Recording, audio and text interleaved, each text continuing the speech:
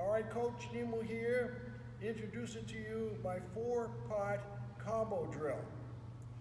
We have it broken down into the first tee, the second tee, the third tee, and this is how we do it.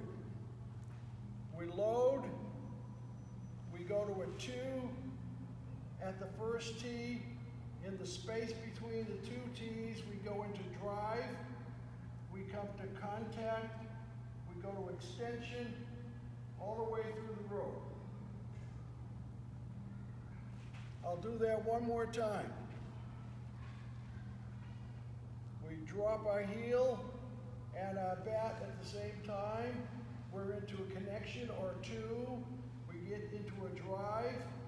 We go to contact We go to extension, we keep our bat barrel on the rope and our eyes all the way to the end. That's our drill.